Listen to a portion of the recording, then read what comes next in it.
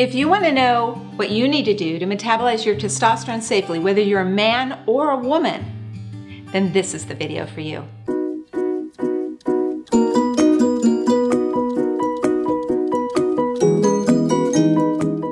Make sure you subscribe so I can help you get your hormones in harmony and optimize your health. And don't forget to click the bell so you'll be the first to know when my new videos come out. Welcome back to the Hormone Healing Show. Today, I'm going to show you how to metabolize your testosterone safely for either women or men, because we both make testosterone, and we need to metabolize it safely. Let's talk about what testosterone does when it's not metabolized safely. So testosterone is produced in the male by the testes and in the female by the ovaries. But the adrenal glands also produce DHEA, which can be converted into testosterone. So we have a couple different ways we make testosterone. So either the testes or the ovaries or the adrenal glands producing testosterone.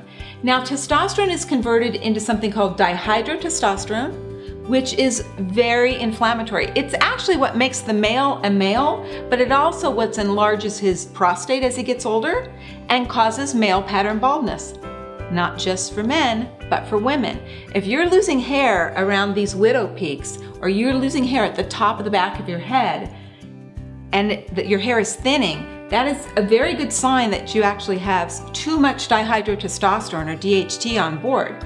You're converting too much of your testosterone into DHT. Now, if you're having problems with acne, that's 3-androstenedione. That is another testosterone derivative converted from DHT, DHT, excuse me, from testosterone. That needs to be blocked. Now, there's another aspect of testosterone that can be a little bit of an issue for both men and women, and especially for men.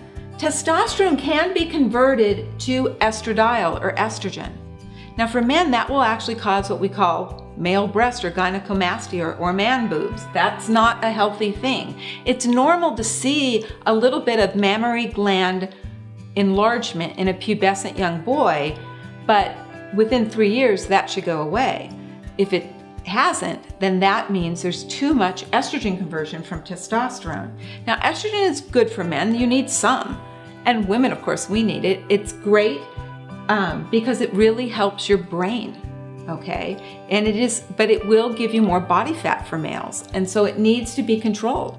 The three things that you can do to actually help control your inflammatory testosterone. The testosterone that causes hair loss, that causes enlarged prostate, that causes acne, or body fat, especially around your belly, or breast tissue development in males.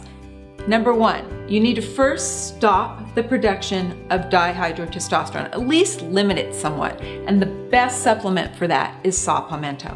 Saw palmetto blocks the conversion at the enzyme level. There are enzymes that actually break down testosterone and convert it into dihydrotestosterone. Saw palmetto can block that. And interestingly enough, saw palmetto can be used by women too. Women who have too much dihydrotestosterone on board and are, especially if they're losing their hair or have quite a bit of acne, you can use saw palmetto as well. The dose for males is about 320 to 640 milligrams a day. For females, it's half that. 160 milligrams a day will be enough to block dihydrotestosterone production. Number two is you need to block your estrogen conversion from testosterone. You don't want your testosterone converting into estrogen. Now for females, what naturally does that is progesterone. Progesterone is a 5-alpha reductase inhibitor. It's a natural 5-alpha reductase inhibitor. In all of my male patients, what I have found that works very well is by giving them a very, very tiny dose of testosterone uh, progesterone with their testosterone in the same transdermal formula makes a huge difference in, in preventing them from actually making too much estrogen from their bioidentical testosterone replacement. So that is a key that you can actually use. Now, what other things could you do? Well, balancing out your hormones by getting enough sleep, by exercising, if you exercise, you work off your testosterone. If you're not exercising, you're gonna start converting it into estrogen and into dihydrotestosterone. By eating a healthy diet that's not rich in lots of carbohydrates, you want more protein and healthy fats. That will help with keep your testosterone where it is as testosterone. By lowering your stress response, if your adrenals are pumping out way too much DHEA because you're stressed out, you're going to make more testosterone. And women know this because we always see young women with a little more acne when she's stressed out. That's because she's making too much testosterone from the stress effect from the adrenal. She's making too much DHEA, it's converting into testosterone, it's affecting her skin and causing acne.